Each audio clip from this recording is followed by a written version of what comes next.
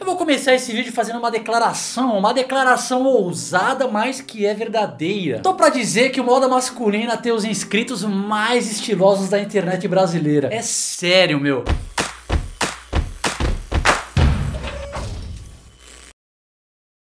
Lucas II, que é o nosso herói do vídeo de hoje, tá parecendo, meu, um desses blogueiros italianos, alemães, eu não sei. Mas o cara simplesmente brilhou no visual dele. Solta a foto pra galera aí, Silves. Vamos lá, vamos lá. Eu vou deixar a jaqueta por último, porque a jaqueta é o ápice do visual. Então vou começar de baixo pra cima. Bota marrom é um clássico infalível, sempre fica bom em visuais de outono e de inverno. Sempre que o tempo esfriou um pouco, bota marrom nos pés. Uma excelente aposta. Calça escura. Me parece ser preta, Silves. É preta mesmo? É, Bom, galera, não dá pra ter certeza por causa aqui da foto, às vezes fica difícil. Mas seja lá como for, calça de sarja preta ou calça jeans preta, excelente aposta também. Amo a peça. E aqui pra cima, camiseta branca. Galera, nota 10, meu. Você não precisa ficar misturando grandes estampas e lavagens ousadas na calça, não, meu. Bota marrom, calça preta, camiseta branca, nota 10. Não tem como errar nesse visual. Bom, na verdade tem, né? Se você tiver com caimento ruim das peças. Mas se você pegar esse trio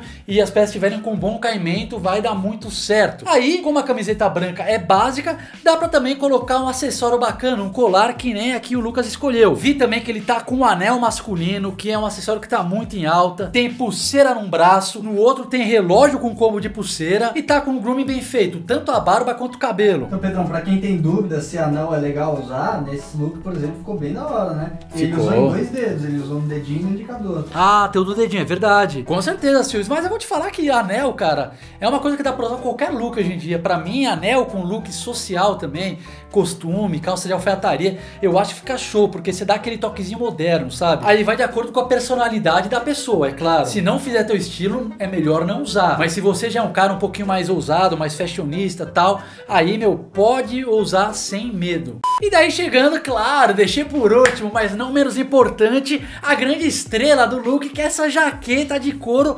sensacional. Aliás, Lucas, depois deixa nos comentários aí, fala onde é que você comprou, que acho que muita gente vai querer saber. Eu, por exemplo, quero. Silvis, isso aqui é um marrom meio esverdeado? É isso? Verde musgo. Verde musgo? É um verde musgo desbotado. É um verde musgo desbotado. É uma cor que eu nem sei definir direito, cara, mas meio militar, não é também? É. Tem uma pegada um pouco militar. É uma peça muito incrível, cara. Eu gostei também desse detalhe aqui em amarelo, um amarelo mostarda também. Um amarelo que não é aquele amarelo tal chamativo, né? Um amarelo mais seco na manga.